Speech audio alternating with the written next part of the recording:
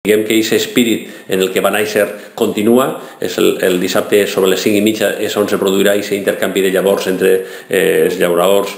i aficionats de, a, a, a l'agricultura que n'hi ha en la població i, i en la comarca per a canviar aquestes llavors. N'hi haurà un total de, al voltant d'uns 20, uns 20 puestos eh, en, tota la, eh, en tota la fira durant el dissabte. Recordar que hem canviat la ubicació, antes era en la zona eh, de la plaça Major en la vila i ho hem traslladat a, a la plaça Espanya eh, en la zona centre del poble, que també és un lloc en suficient amplitud i, i visibilitat per a que la gent pugui disfrutar.